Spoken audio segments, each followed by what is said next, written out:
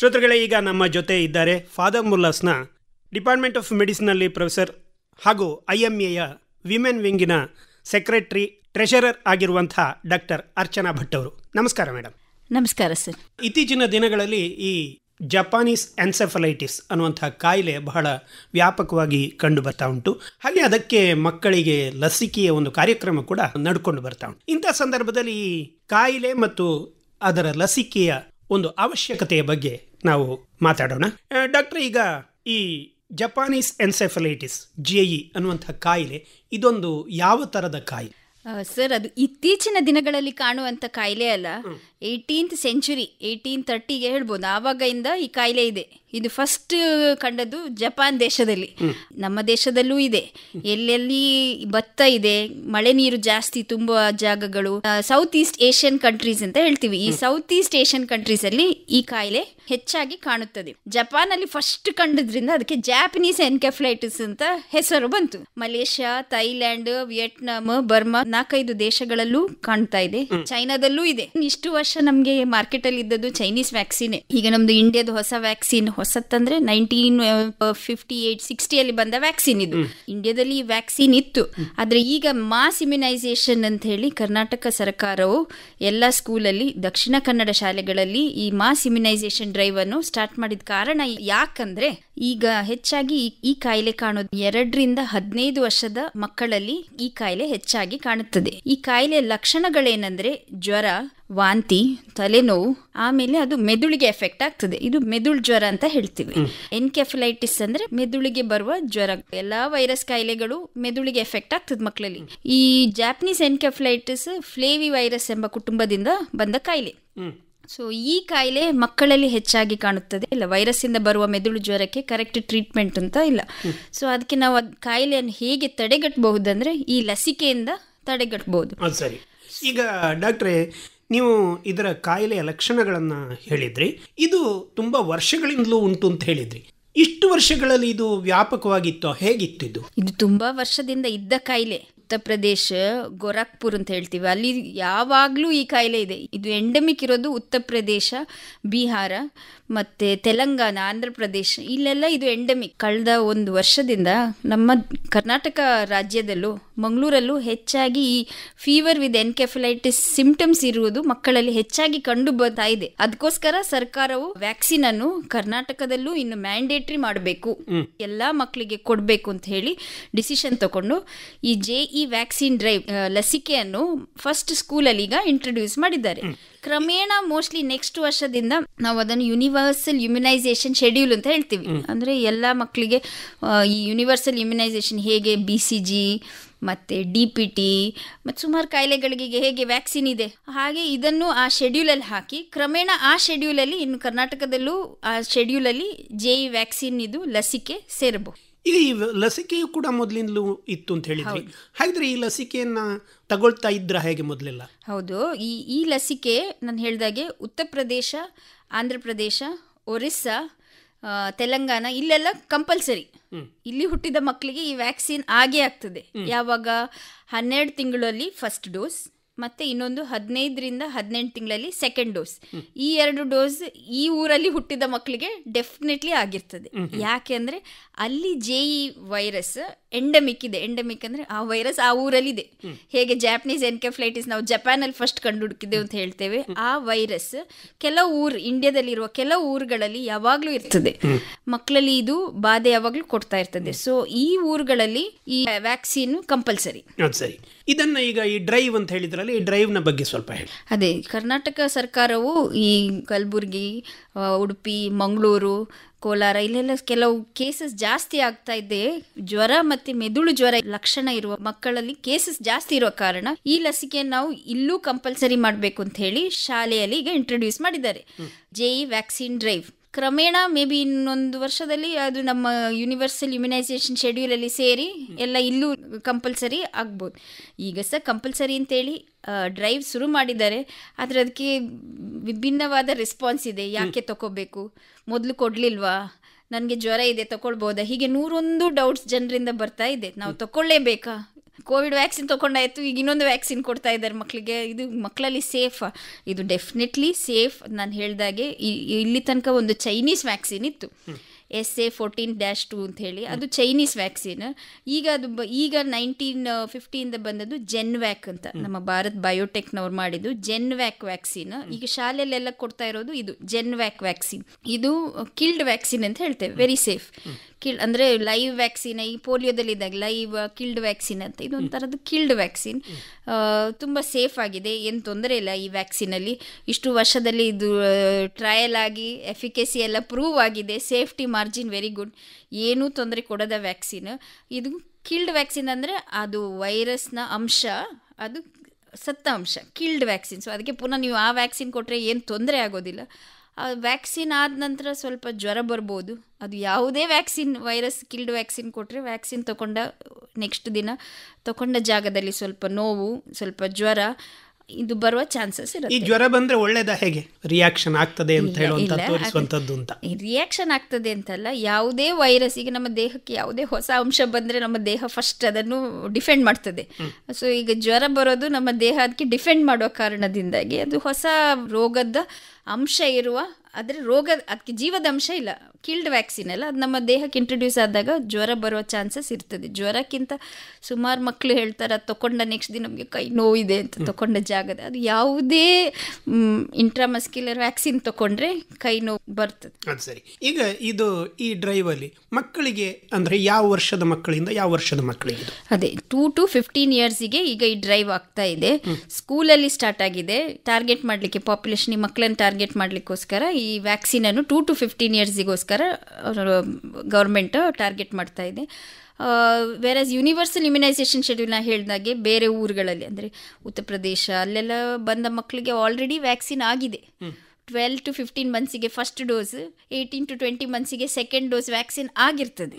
ಅಲ್ಲಿ ಹುಟ್ಟಿ ಇಲ್ಲಿ ಬಂದ ಮಕ್ಕಳಿಗೆ ಆಲ್ರೆಡಿ ವ್ಯಾಕ್ಸಿನ್ ಅಲ್ಲಿ ಅಲ್ಲಿ ಬೆಳೆದ ಮಕ್ಕಳಿಗೆ ವ್ಯಾಕ್ಸಿನೇಷನ್ ಆಗಿದೆ. ಅಲ್ಲಿ ವ್ಯಾಕ್ಸಿನ್ ಕೊಡ್ತಾ ಇದ್ದಾರೆ. ಯಾಕಂದ್ರೆ ಅಲ್ಲಿ ಯಾವಾಗಲೂ ಎಂಡೆಮಿಕ್ ಇದೆ ಅಂತೇಳಿ. ಈ ಕಾಯಿಲೆ ಸ್ವಲ್ಪ ಜಾಸ್ತಿ ಆಗಿ ಕಾಣ್ತಾ ಇದೆ. ಅಂದರೆ ಮೆದುಳು ಜ್ವರ ಇರುವ ಅಂಶ ಮಕ್ಕಳಲ್ಲಿ ಸ್ವಲ್ಪ ಜಾಸ್ತಿ ಕಾಣುವ ಊರುಗಳಲ್ಲಿ ಈ ವ್ಯಾಕ್ಸಿನ್ ಮೊದಲಿಂದ ಇತ್ತು. ಕರ್ನಾಟಕದಲ್ಲೂ ಬೆಳ್ಳಾರಿ ಈ ಉತ್ತರ ಕರ್ನಾಟಕದಲ್ಲಿ ಸ್ವಲ್ಪ ಜಾಸ್ತಿಯಾಗಿ ಕಾಣ್ತಾ ಇದೆ. ಇದು ಯಾರಲ್ಲಿ ಜಾಸ್ತಿ ಯಾವ ಊರಲ್ಲಿ ಜಾಸ್ತಿ ಯಾಕೆ ಆ ಊರಲ್ಲಿ ಜಾಸ್ತಿ ಅಂತ ನಮ್ಗೆ ಹೇಳೋದು ಸ್ವಲ್ಪ ಕಷ್ಟ. ಇದು ಹಂದಿ ಹೇಳ್ತೀವಲ್ಲ ಹಂದಿ ಅದಕ್ಕೆ ಆಂಪ್ಲಿಫೈಯರ್ ಹೋಸ್ಟ್ ಸೊ ಹಂದಿ ಈ ಈ ವೈರಸ್ನ ಅಂಶ ಈ ಹಂದಿ ಮೈಯಲ್ಲಿ ಬೆಳೀತದೆ. ಅದರೊಟ್ಟಿಗೆ ಈ ಕೊಕ್ಕರೆ ಬಾತ್ಕೋಳಿ ನೀರಿನ ಹತ್ರ ಇರುವ ಈ ಆರ್ಡೆಂಟ್ ಬರ್ಡ್ಸ್ ಅಂತ ಹೇಳ್ತೀವಿ. ಇವು ಈ ಪ್ರಾಣಿಗಳ ಮೈಯಲ್ಲಿ ಈ ವೈರಸ್ನ ಅಂಶ ಬೆಳೀತದೆ. ಸೊ ಅದು ಮನುಷ್ಯನಿಗೆ ಹೇಗೆ ಬರುತ್ತೆ ಅಂದರೆ ಈ ಮಳೆಗಾಲದಲ್ಲಿ ಭತ್ತ ಬೆಳೆಯುವ ಟೈಮಲ್ಲೆಲ್ಲ ಈ ಬರ್ಡ್ಸ್ನ ಮೈಯಲ್ಲಿದ್ದ ವೈರಸ್ ಮಸ್ಕಿಟೋ, ಈ ಕ್ಯೂಲೆಕ್ಸ್ ಟ್ರೈಟನ್ ರಿಕೋರ್ಸ್ ಅಂತ ಹೇಳ್ತೀವಿ. ಇಂಡಿಯಾದಲ್ಲಿ ಕ್ಯೂಲೆಕ್ಸ್ ವಿಷ್ಣು ಅಂತ ಅದರ ಹೆಸರು. ಈ ಮಸ್ ಸೊಳ್ಳೆ ನಮಗೆ ಕಚ್ಚಿದಾಗ ಈ ವೈರಸ್ ನಮ್ಮಲ್ಲಿ ಬರ್ತದೆ. ಈ ವೈರಸ್ನ ಲಕ್ಷಣಗಳು ಬರ್ತದೆ. ಈ ಡೆಂಗು ಕಾಯಿಲೆ ಸಹ ಹಾಗೆ. ಡೆಂಗು ಸಹ ಬರೋದು ಸೊಳ್ಳೆ ಕಚ್ಚಿದಾಗಲೇ. ಆದ್ರೆ ಆದರೆ ಅದು ಬೇರೆ ಸೊಳ್ಳೆ ಏಡಿಸ್ ಅಂತೇಳಿ. ಆ ಸೊಳ್ಳೆಗಳಲ್ಲೂ ಬೇರೆ ಬೇರೆ ಇದೆ. ಒಂದೊಂದು ಸೊಳ್ಳೆ ಒಂದೊಂದು ವೈರಸ್ ಅಂತ ತಗೊಂಡು ಹೋಗುತ್ತೆ. ಸೊ ಈ ಏಡಿಸ್ ಸೊಳ್ಳೆ ಕಚ್ಚಿದ್ರೆ ಡೆಂಗು ಬರುತ್ತೆ. ಕ್ಯೂಲೆಕ್ಸ್ ಅಂತೇಳಿ ಟ್ರೈಟನ್ಯುರೈಕಸ್ ವಿಷ್ಣು ಕ್ಯೂಲೆಕ್ಸ್ ವಿಷ್ಣು ಈ ಸೊಳ್ಳೆಯಲ್ಲಿ ಆ ವೈರಸ್ ಇದ್ದರೆ ಆ ಸೊಳ್ಳೆಗೆ ಆ ವೈರಸ್ ಬರಬೇಕಾದ್ರೆ ಹಂದಿ ಇಲ್ದಿದ್ರೆ ಬಾತುಕೋಳಿ ಡಕ್ ಇದರಲ್ಲಿ ಇದರ ಮೈಯಲ್ಲಿ ಇರುತ್ತೆ ಈ ಫ್ಲೇವಿ ವೈರಸ್. ಸೊ ಇದರಿಂದ ಆ ಸೊಳ್ಳೆಗೆ ಬರುತ್ತೆ ಸೊಳ್ಳೆಯಿಂದ ಮನುಷ್ಯನಿಗೆ ಬರುತ್ತೆ. ಮನುಷ್ಯನಿಂದ ಬೇರೆಯವ್ರಿಗೆ ಹರಡೋದಿಲ್ಲ ಮನುಷ್ಯ is a dead end so ಇದು ಬಂದ್ರೆ ಇದು ಮಾರಣಾಂತಿಕವ ಹೇಗೆ? ಅದೇ ಅದರದ್ದು ಕೇಸ್ ಫೆಟಾಲಿಟಿ ರೇಟ್ ಅಂತ ಹೇಳ್ತೀವಿ ಅದು ತುಂಬ ಹೈ ಯಾಕಂದ್ರೆ ಅದಕ್ಕೆ ಸೂಕ್ತವಾದ ಚಿಕಿತ್ಸೆ ಇಲ್ಲ.